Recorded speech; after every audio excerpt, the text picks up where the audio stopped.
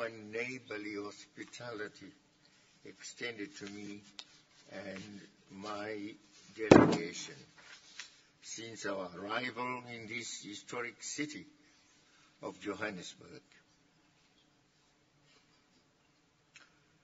My delegation equally acknowledges with a deep sense of appreciation the excellent work that NEPAD has accomplished in recent years under the able leadership of Dr. Mayaki and his hardworking team.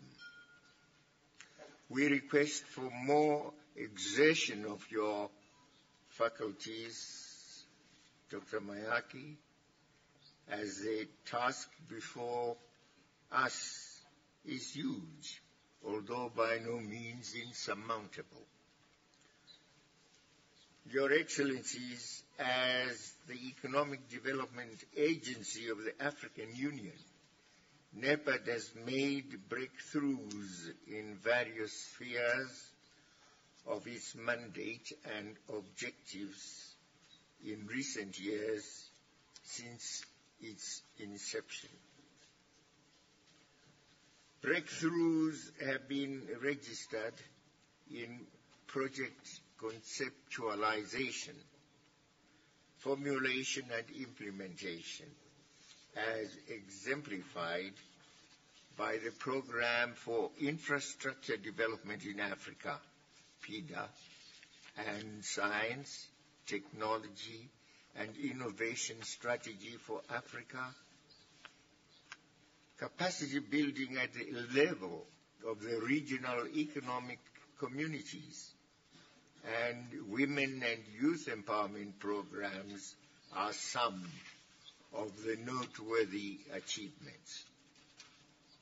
NEPAD's exceptional drive in the area of resource mobilization, food security, and nutrition with the advent of climate change has been remarkable. Moreover, Has provided critical synergy, the synergy between and among African institutions, thereby enhancing the much-needed continental integration as envisaged in the Lagos Plan of Action of 1980 and the Abuja Treaty of 1991. Distinguished colleagues, challenges continue to dog the African continent in spite of the cited strides achieved in the area of sustainable and inclusive economic development. Poverty, hunger, and diseases continue to work to wreak havoc on the African continent, while its vast natural resources are being exploited and exported in their raw or semi-processed form. African natural resources and commodities are beneficiated and value added elsewhere outside the continent, immensely benefiting those countries while African people continue to be impoverished. As an agency established to fast-track the implementation of African economic development, I would like to call upon NEPAD, the regional economic communities, and other African institutions to come up with viable strategies and expedite the industrialization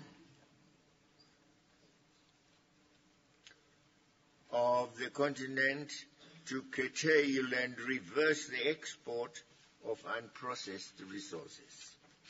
Let's work on an integrated basis on the industrialization of our economic entities. I urge NEPAD and similar African institutions to include industrialization among our priority or priorities with regard to our high impact programs and projects. Surely the African people cannot continue to be hewers of wood and drawers of water while others delight in their resources, in our resources. With unwavering courage and collective determination, Africa can also industrialize in the same manner other regions have achieved industrialization within the shortest period possible.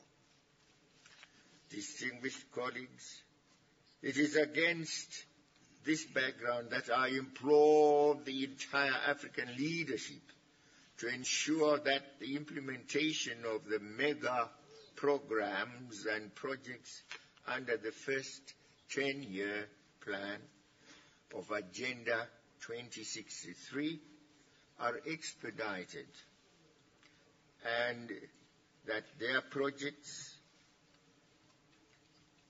the projects, the, such projects as the Grand Inga, Continental Free Trade Area, the Single Aviation Authority, and the high-speed train which we have, high-speed train network which we have spoken about, discussed upon, and resolved to implement, among others, that these be hastened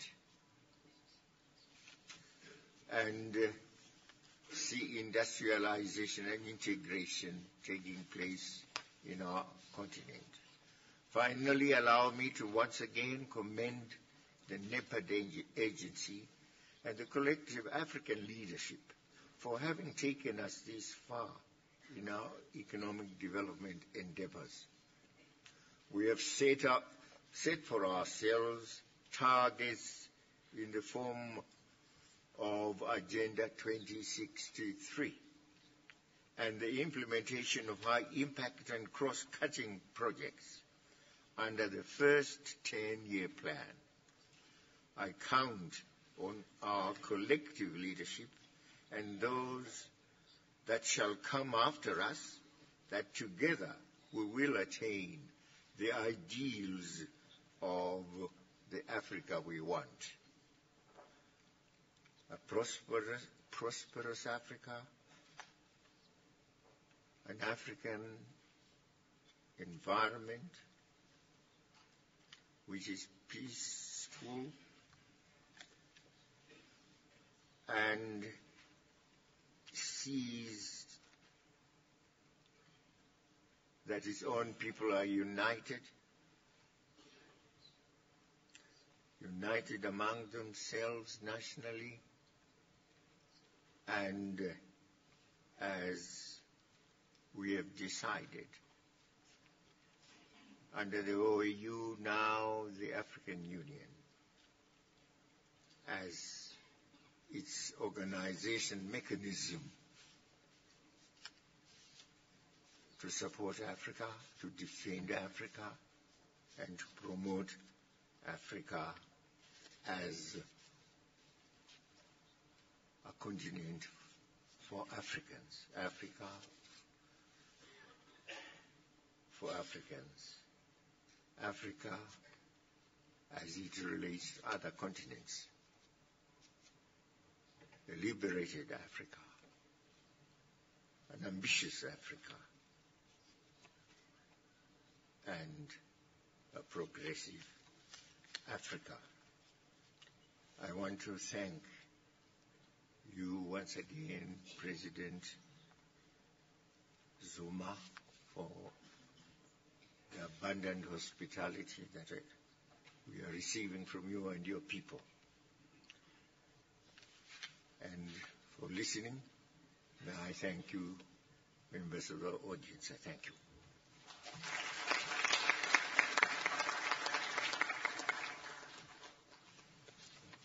Je vous remercie, I uh, thank you, Mugabe, President Mugabe, Président de l'Union President, africaine, uh, Chairperson of the African importante Union.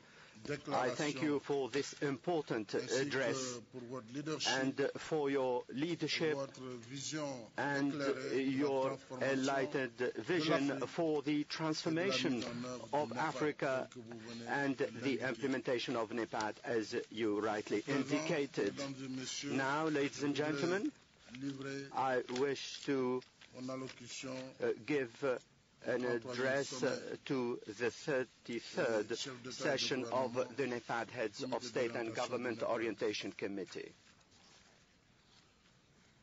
Monsieur le Président en exercice de Uh, l'Union africaine, the chairperson of the African Union, Zuma, hôte du uh, sommet, President uh, Jacob Zuma, host of the summit, dear colleagues, madame la présidente ministers, chairperson of uh, the African Union Commission, le Président de la Banque africaine de uh, développement, President of the African Development Bank, le secrétaire d'État espagnol uh, uh, Deputy Minister of Foreign Affairs of Spain, du président du gouvernement uh, espagnol, representative of the Spanish government, exécutif de l'Agence de executive uh, director of uh, the uh, orientation le uh, secrétaire exécutif de la Commission of NEPAD, Unies pour l'Afrique, the uh, executive secretary of the United Nations for Africa, ladies and gentlemen, on your behalf and on my own behalf, I wish to sincerely thank our brother, President Jacob Zuma, for the uh,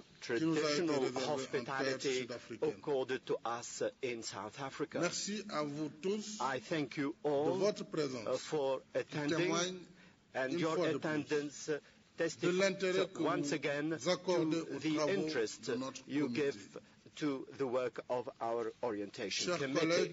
Dear colleagues, the year marque une 2015 étape importante dans is l'agenda a- du an important phase in the development agenda. with the à New York evaluation in September in New York of the Millennium Development Goals. 20 ans après leur 20 adoption, years after their adoption in January 2000 in Addis nous avons Abeba, fait le point uh, we la mise en œuvre de nos evaluated the, uh, du programme de implementation of our uh, projects on infrastructure development in Africa, PIDA. Certains de ces Uh, projets Some ont of été these réalisés projects uh, have dans been implemented within the spirit en of associant NEPAD plusieurs États. by associating various D'autres sont en states.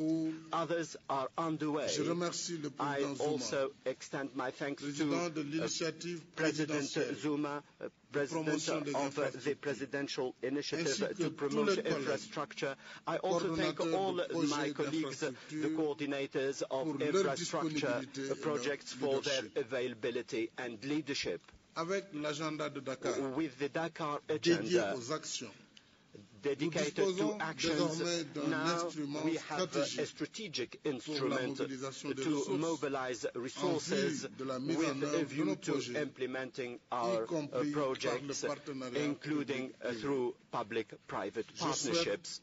Que la Banque I hope that the African Development Bank, uh, through the uh, initiative of the Africa Fund 50, will continue supporting our efforts in this regard. l'occasion pour moi de This is also an opportunity for me to uh, congratulate Mr. sortant de la the uh, uh, outgoing president of the African Development Bank. I, hope that you will give him a round of applause for the services given to Africa. saluer donc le président sortant de la BAD pour sa collaboration efficace et son soutien constant aux initiatives du projet du NEPAD. L'esprit du NEPAD est bien ancré dans la définition des stratégies de développement à l'échelle continentale. Mais nous avons encore des progrès à faire pour traduire nos engagements our commitment into concrete Il en acts. est ainsi de l'agriculture This is the case of de la sécurité agriculture and food security travers les objectifs uh, through the uh, set objectives pour le développement in the detailed plan for the development of agriculture.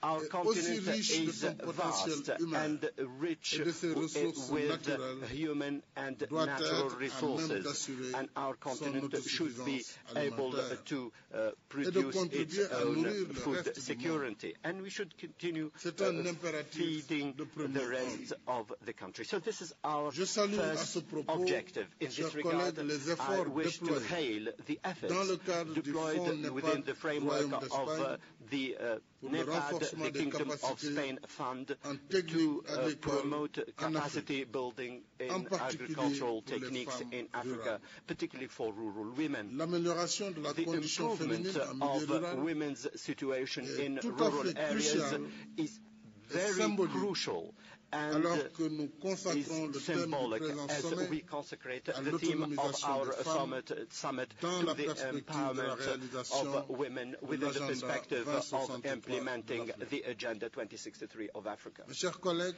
Dear colleagues, au dernier sommet du G7, during the last G7 j'ai eu summit, l'honneur which I was collègues de honored to attend with other colleagues and to represent our continent.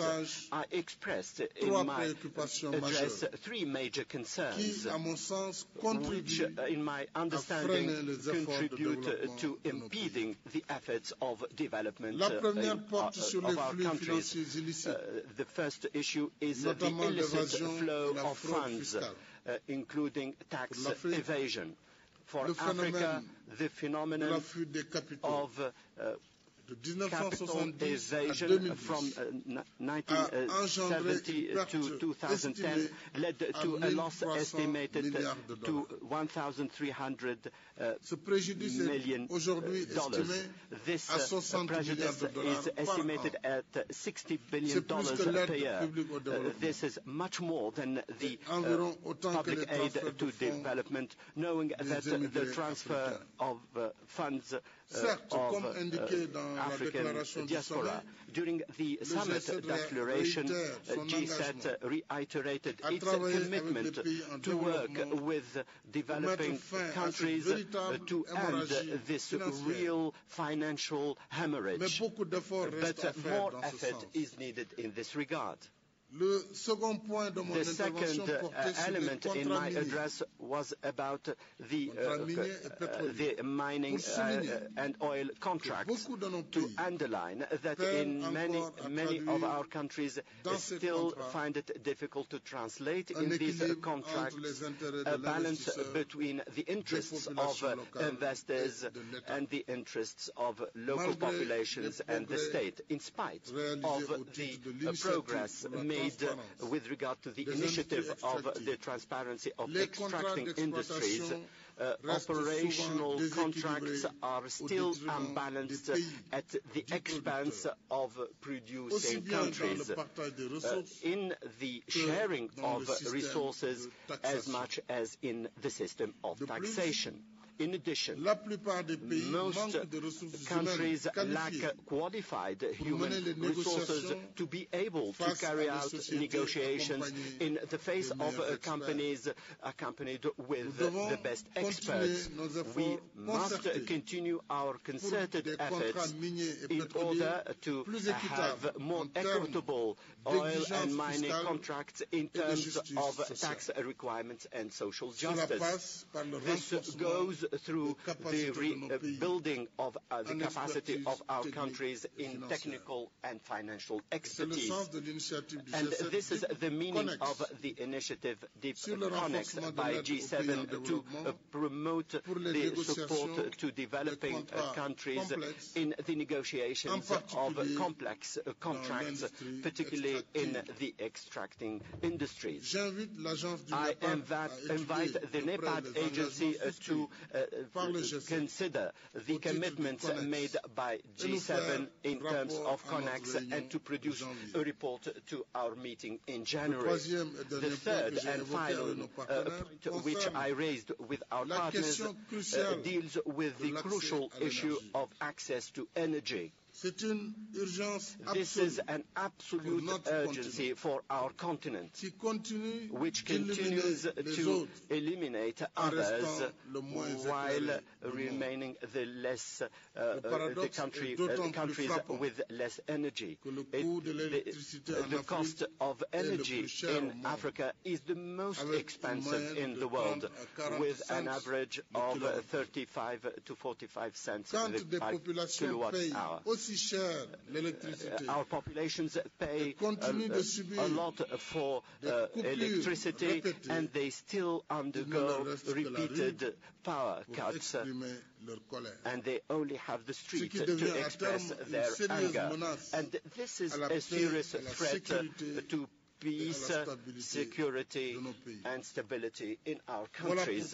That's why the question of energy rester au cœur should remain at the heart of the NEPAD agenda with uh, uh, federating uh, projects, integrating projects. d'en President Mugabe re- et tous les referred to Inga and other major dam projects intégrateurs qui associent plusieurs integrating projects that should bring together different countries for a more efficient Je voudrais pour impact.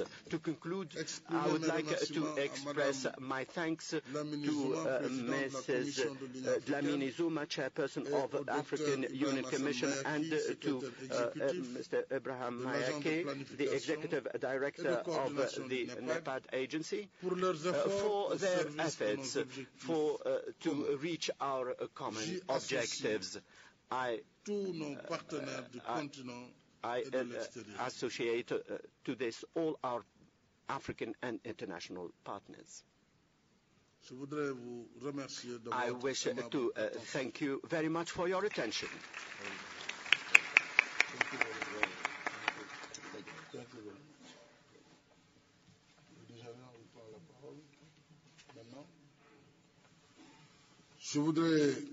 Je voudrais, I normalement c'était la fin de Uh, la this cérémonie was d'ouverture, mais nous supposed to be the end of our opening Mohamed ceremony. Now I have vient to d'être give the floor to His Excellency Euh, Muhammadu à sa place, Buhari, President of uh, the Federal Republic of Nigeria. We, we were supposed to have, uh, to give him the floor, but I would give uh, the floor to his representative uh, to deliver his address. Thank you. Mr. Chairman and Your Excellency. Excellency President Jacob Zuma, host of this meeting. Excellency President Robert Mugabe, Chair of the African Union. Your Excellencies, ladies and gentlemen. President Muhammadu Buhari has asked me to read this statement in his name, and I read. I thank you, Mr. Chairman, for giving me the floor to make these few remarks. I wish to commend the exemplary leadership that you have brought to this committee since your assumption of office. I believe that it is because of your quality that you have again been given a mandate to continue to lead the committee. In the same vein, I want to congratulate the Chief Executive of NEPAD for his exertions. And in particular, I wish to congratulate and thank President Jacob Zuma for the excellent facilities put at our disposal for this meeting, as well as the warm hospitality expended, extended to us since our arrival in this beautiful country a few days ago. That the Republic of South Africa plays host to the secretariats of the two structures of the African Union, NEPAD and APRM, is a reflection of the deep and unequivocal dedication of the Republic of South Africa to the cause of Africa. As you are no doubt aware, this is the very first time that I'll be attending the meeting of this committee since I assumed leadership of my country as president. Permit me, therefore, to commend the African leaders, especially the founding members of NEPAD, for spearheading the achievements and sustainability the new Partnership for Africa's Development for the past 14 years. As a founding member of NEPAD, Nigeria is totally committed to its vision and will therefore not waver until the ideals and objectives for which the body was established are realized. Nigeria recognizes that NEPAD remains the strategic initiative and the body of philosophy to support the structural economic transformation of Africa. I wish therefore to reassure you that Nigeria will sustain its support and deploy all within its reach for the acceleration of the implementation of NEPAD programs and projects. Nigeria equally acknowledges the need to adhere to the core principles of partnership, leadership and ownership championed by NEPAD. Hence, our government will continue to deepen and broaden the ownership of NEPAD amongst our nationals in order to collectively address poverty eradication, inclusive growth, and sustainable development. I wish to commend His Excellency President Jacob Zuma for his role as the chairman of the Presidential Infrastructure Champions Initiative. Under his guide, some measure of progress has been achieved in the implementation of projects assigned to some member states, including Nigeria. In this connection, I wish to reiterate Nigeria's readiness to robustly champion NEPAD programs and projects and in particular to inform that we have commenced work on both the Trans-Sahara gas pipeline as well as the Trans-Sahara Highway. We do intend and commit to complete these projects. Equally, we are working vigorously on the plane of agriculture to achieve food security.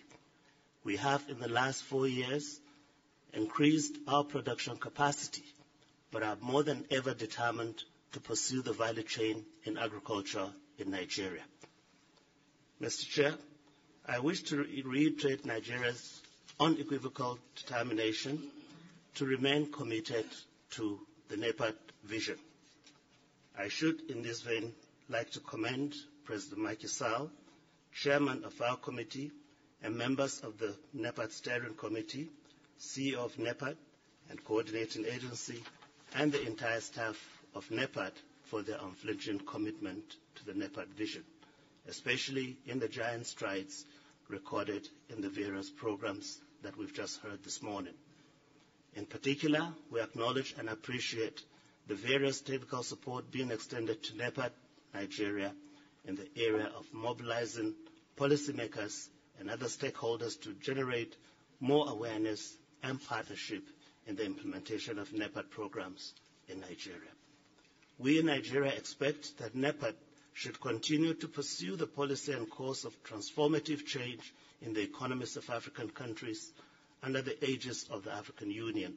It should therefore prioritize industrialization, value addition, energy development, women empowerment, promoting double-digit growth, and infrastructure financing through public-private partnership initiatives and trade facilitation. Equally important is regional integration through our regional economic communities.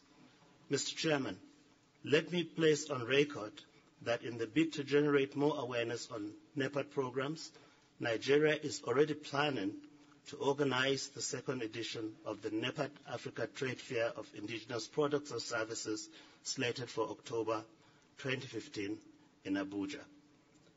As expected, invitations will be extended to entrepreneurs, captains of industries, as well as international organizations, including the African Union Commission, well ahead of time. We look forward to your active participation at this trade fair. I thank you.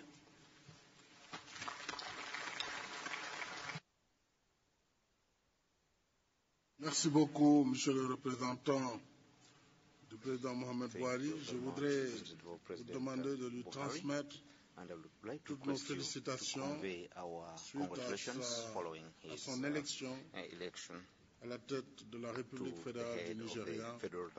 Et nous lui souhaitons la bienvenue au sein du comité welcome him du to NEPAD. the NEPAD uh, euh, lui committee témoigner également and would de like to tout le plaisir express que nous aurons our à pleasure travailler that ensemble, we'll main have dans la main, in working with pour him faire hand avancer in hand notre to agenda commun. move forward our Merci common encore agenda. une fois. Uh, Thank you so much once À again. présent, mesdames et messieurs, euh, chefs d'État et de gouvernement, mesdames et messieurs, nous allons poursuivre We are now going to notre séance continue à huis our clos. session behind closed doors. So euh, I'd like to, nos amis de la presse, I invite to call upon les observateurs et les um, invités à bien vouloir observers, and other invited guests euh, uh, to laisser poursuivre allow us to continue our meeting behind Seules les closed doors. membres Only um, member state delegations of the African Union régionales et les and of uh, regional economic communities and partner institutions that have been accredited to attend this session should remain behind. Je vous remercie de votre Thank you so much for your understanding.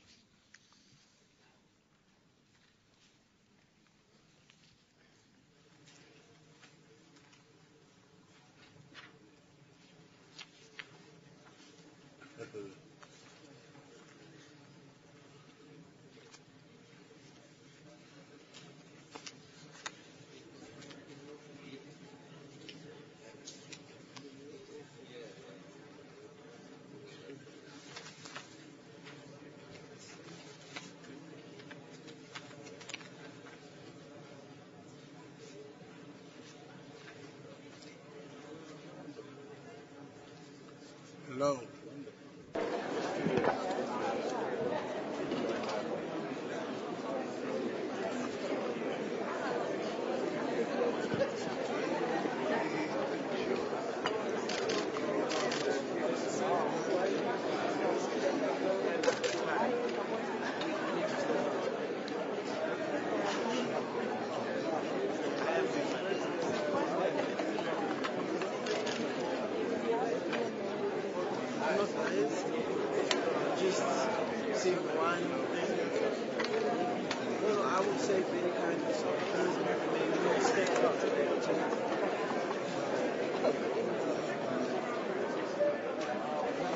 Mesdames et messieurs, nous allons poursuivre nos travaux.